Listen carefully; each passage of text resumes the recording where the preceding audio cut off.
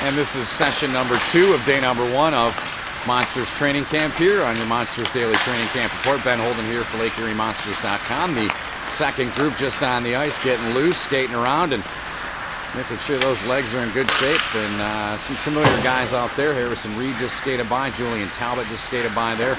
David Liffiton. Those two guys are both new to the club. Talbot last year in Peoria. Liffiton last year in Syracuse. He's a big, strong, physical defenseman.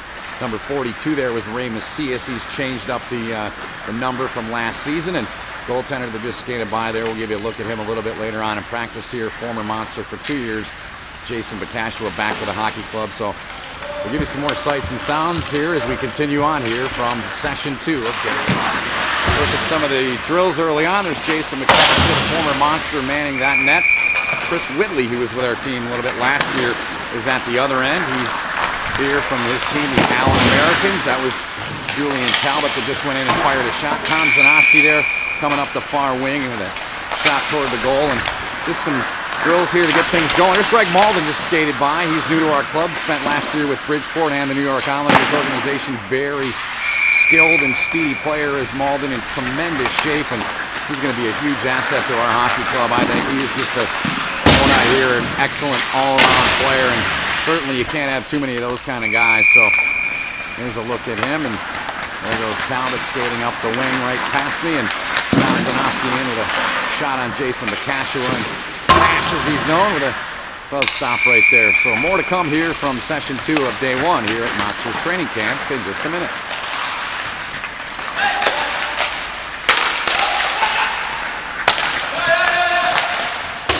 Looking on a long and short passing drill here. David Liffiton with a shot there. And let me see.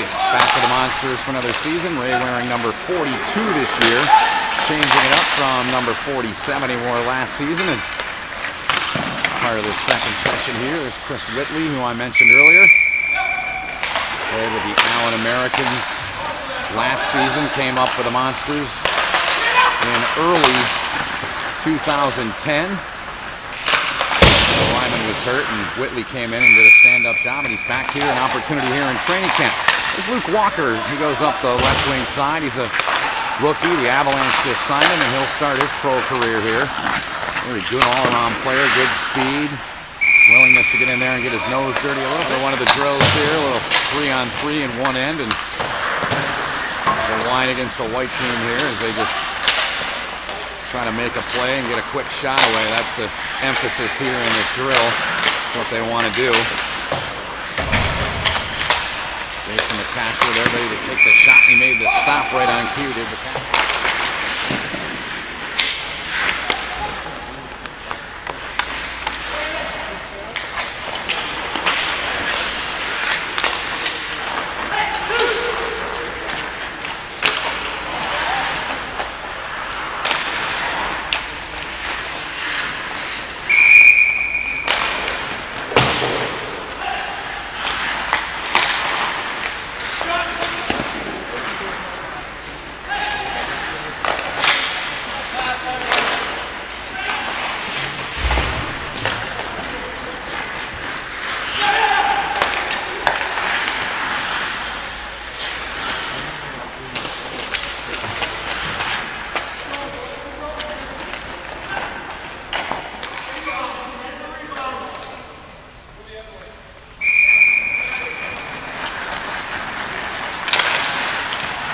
Pretty tough defensive drill right here. Guys got to go in and get a couple pucks out of the corner. David Liffiton there going through the drill, make the pass up to the line. So Chouinard there, the rookie with a shot in there. And just to test the quickness and agility and those things, and uh, certainly a big part of why we're here. Down at the other end now, forwards working on a drill with Jason McCaskill there in the goal, and see what happens here. Zanoski comes in. He's in the wine uniform there in front. One of the newcomers on this team with him there. And I'll get a look at a couple of guys that were signed by the Avalanche in the offseason. Greg Mauldin driving up. Julian Talbot there to clean up the mess in front. Both guys, I think, are going to be a real big part of our hockey club this year. Those two young men. We'll look at Mauldin there, number 20. There's Talbot next to him. Julian and Peoria last year, last few seasons actually. Mauldin with Bridgeport and the Islanders organization. Jason McCashua quick with that goal stick, but not quick enough there as the 2 on 0 is good for the guys on the attack. So look at some of the things that have happened here on day one of Monsters Training Camp. That'll do it for this edition. This is from session two, our Monsters Daily Training Camp report. This has been Holden reporting for LakeErieMonsters.com.